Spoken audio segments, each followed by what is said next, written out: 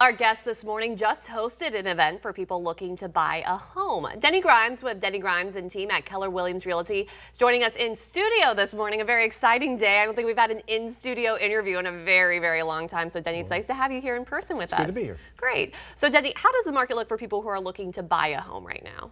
Well, the market's trending much like 2021. And when I say that, 2021 was a record, a record year. So we're seeing the same trends.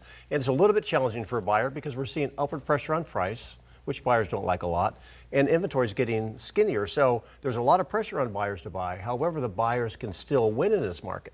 People asked that same question last year. And if they bought, their property went up 25% in one year. So if you bought the average home of $350,000, they put $70,000 in their pocket. Mm. So it's a good market for buyers too. All right, great. So if you can afford it, because we know home prices, as you said, are going up, mm -hmm. is it a good time?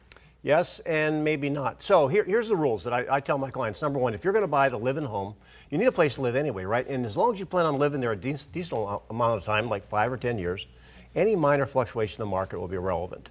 If you want to buy to invest and you're going to rent it, and you're going to hold it for a period of time, any minor fluctuation will be irrelevant. And rents are going up, like most mm-hmm. people know. Yeah. Now, if you want to step in and step out, if you want to speculate or you want to flip, it's a little bit more dangerous. And so if you're going to do that, make sure you're playing with money you, you can afford to lose. Right, exactly. So should buyers be concerned about a bubble in the market? Great question. I get that question all the time, and I say absolutely no, and you can take it to the bank. You need excess inventory to have a bubble and our market is inventory starved, so there's no bubble on the horizon. And uh, I check it every week. In spite of what's going on with gas prices, inflation, the real estate market is healthy. All right, and so we're about, you know, almost to April in the in 2022.